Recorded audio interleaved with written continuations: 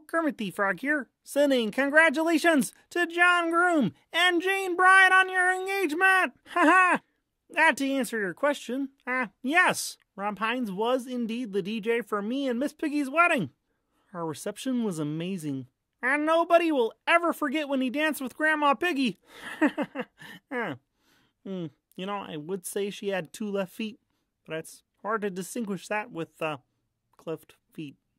Rob brought a photo booth, put our names up in lights, and kept everyone entertained as MC all night. Plus, a little birdie just told me he was recently voted top entertainer in NYC. you know, Miss Piggy probably voted a lot in that, but uh, that's none of my business, so. Anyhow, best of luck with your wedding. I know you will be happy you went with Rob. We sure are.